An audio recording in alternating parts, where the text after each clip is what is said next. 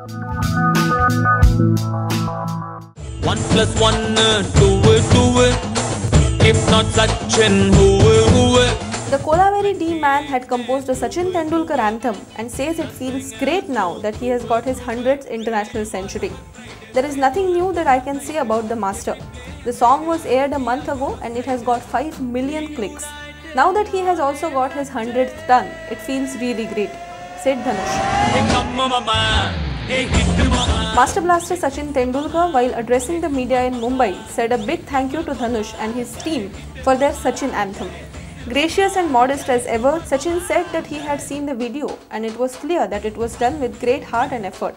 He added that there was a lot of energy in the track as well. Sachin thanked not only Dhanush but all who had done this anthem with him, saying that he was touched that so much hard work had gone into an anthem that was dedicated to him.